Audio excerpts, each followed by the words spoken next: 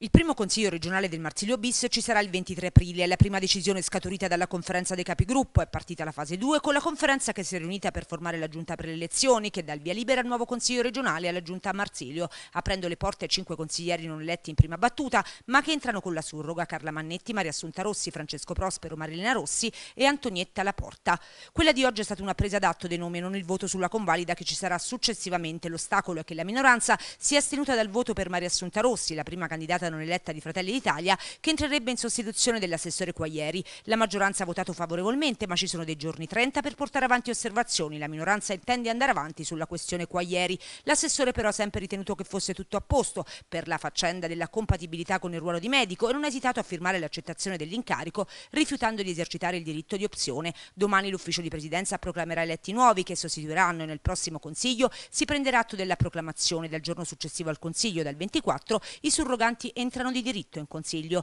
Ci saranno successivamente da fare le nomine dei presidenti di commissione, sette nomi in corsa per cinque posizioni, Fratelli d'Italia che punta su Campitelli, Gatti e Daddazio, Forza Italia su Di Matteo e Laporta, la Lega propone Dincecca e Mannetti e rimane aperta la questione sottosegretario, anche se con ogni probabilità sarà Daniele Damario, posizioni divergenti come sempre tra maggioranza e opposizione. Noi non voteremo la surroga per Quaglieri in attesa che l'ANAC a cui ci siamo rivolti si possa esprimere sulle sue incompatibilità di cui siamo ragionevolmente convinti. Siamo molto delusi, il primo consiglio non è stata una bella prova per la maggioranza, eh, visi tirati, sorrisi dimezzati sia nell'insediamento del Presidente del Consiglio sia per l'esposizione del programma da, da parte di Marsilio. Ambedue gli interventi sono stati davvero molto scarni perché erano fortissime le tensioni. Dico sempre nell'interesse esclusivo esclusivo della Regione Abruzzo, una posizione molto ferma ma anche pronta a valutare tutte le proposte che dovessero pervenire dai banchi del governo se ritenute di interesse per gli abruzzesi e gli abruzzesi. Ma io direi che la prima è andata male, è un inizio di una maggioranza che doveva avere continuità, che era tutto chiaro, che era tutto trasparente, su linee programmatiche ben precise